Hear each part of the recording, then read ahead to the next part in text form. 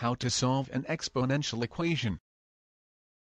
In order to solve exponential equations, we will apply the laws of exponent and the one-to-one -one property of exponential functions. Recall the following laws of exponent. Identity. Product. Power to a power. 0. Quotient. Quotient to a power. Negative exponent. Power rule. And the fractional exponent rule. While the one-to-one -one property of exponential functions states that if two exponential expressions with same base are equal, the exponents are also equal.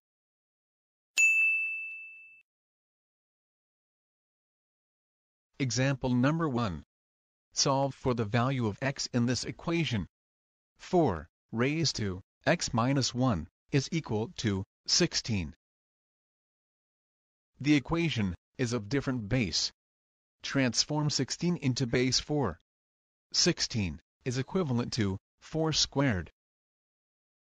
The equation becomes 4 raised to x minus 1 is equal to 4 squared.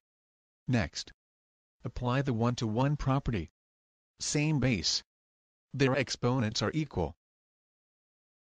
Bases will be cancelled. Equate their exponents. Then, solve for the value of x. Transpose negative 1 to the right side of the equation. x is equal to 2 plus 1. 2 plus 1 is 3. Therefore, the value of x is 3. Thanks for watching. See you on the next video. Don't forget to subscribe and hit that notification bell for more video tutorials.